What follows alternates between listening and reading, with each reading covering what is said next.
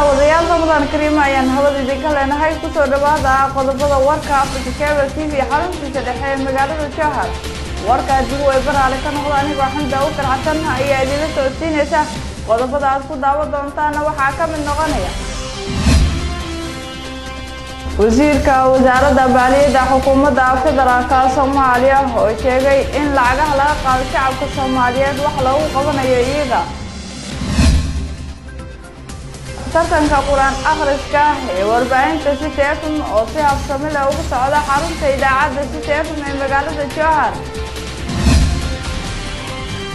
maxaabiista ku xiran xabsiga dhexe ee dalka soomaaliya oo soo dhaweeyey guddigii uu dhowaan magacaabay madaxweynaha jamhuuriyadda federaalka soomaaliya mudane maxamed cabdulaahi maxamed farmaajo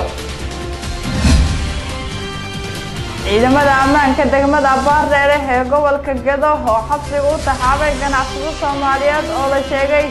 inuu kulan la qaatay koox ka tirsan al-shabaab.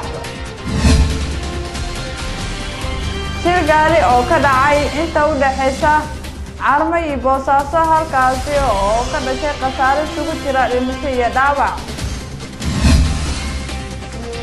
madaxda dowlad goboleedka puntland oo amar ku sooratay shacabka ku dhaqan deegaanada maamulkaasi uguna baaqday in ay ka shaqeeyaan. Sidii loo xaqiijin lahay amniga iyadoo maalmihii ugu dambeeyey falalka lidii kuwa ammaanka ay ku sii badanayeen deegaanada maamulkaasi. Qodobada iyo qodobo kaloo dhan ayaad warkayga ku daawan doontaan. Haddii way baraali ka noqday u diyaargaro warka africa cable t v xaruntiisa dhexe ee magaalada jowhar